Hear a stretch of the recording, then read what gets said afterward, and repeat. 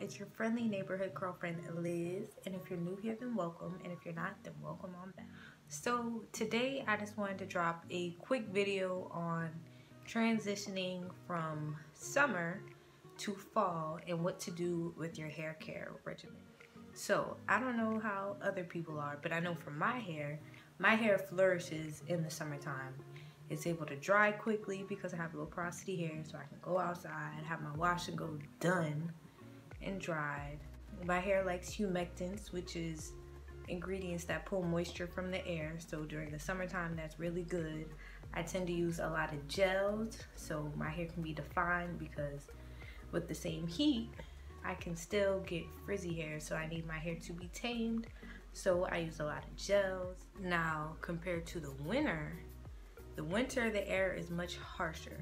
So you need to make sure that your hair is properly moisturized. So that means make sure you're using water always. Use a leave-in.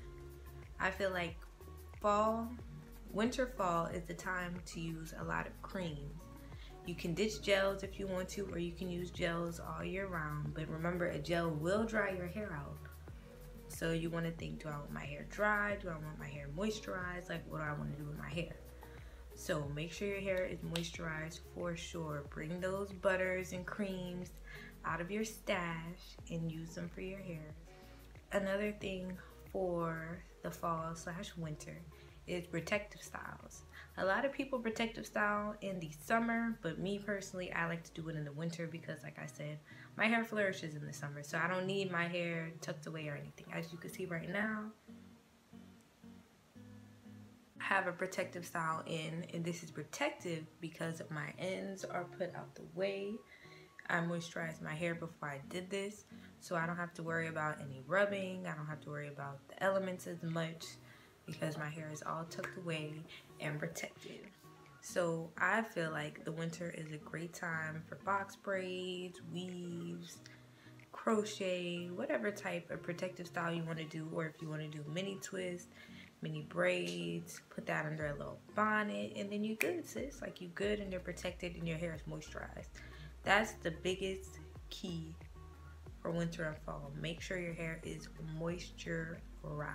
Some of my favorite butters and creams are, hold on, let me go get them. Okay, so I'm back.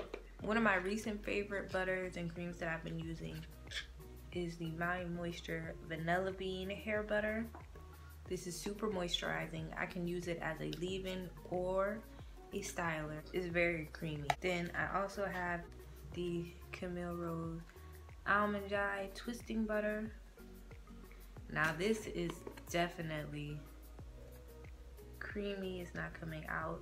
I love using this in the fall and the winter time for twist outs and braid outs because I don't really do too many wash and goes anymore. And Mielle's Twisting Souffle. This is also a very thick substance, very creamy and super moisturizing. So as you see, there's a little theme. You want moisturizing products. The first ingredient should be like water, maybe shea butter, and some type of oils so you know that your hair will stay moisturized. A lot of people during these colder months also experience their scalp getting very dry and itchy. So I know um, as I Am has a line, a dry itchy scalp line. I've only used the leave-in, but I've heard a lot of people talk about it. And that is a line specifically for people that get dandruff, whose scalp gets itchy. So you want to make sure that you're taking care of your scalp also. We talk about our ends, but our scalp is just as important. Really, that's where the root of all your good hair, good healthy hair grows, is from your scalp. So you want to make sure that it's clean. If it's itchy, get something for it. Um, peppermint oil, tea tree, I know those two oils are really good for an itchy scalp. Brands now have lines catered directly to that if that is an issue.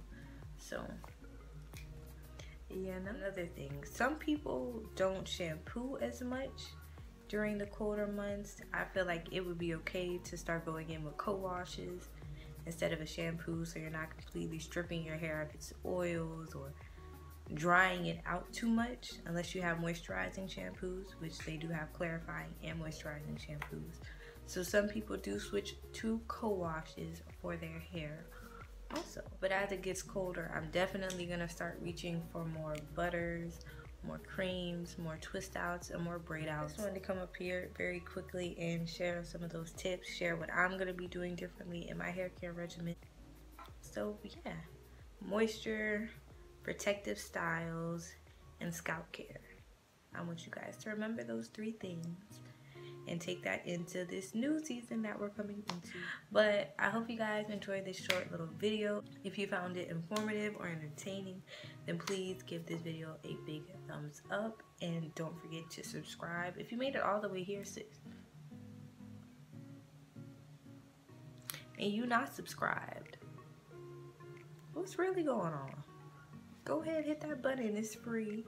And while you're at it, make sure you hit that bell so you're notified every time I make a video. Make sure you follow me on Instagram at Curls with Liz with three Z's and leave a comment down below if you do anything differently in the fall and the winter or if you just keep the same routine. Okay, hope you guys enjoy. See you in my next one. Bye.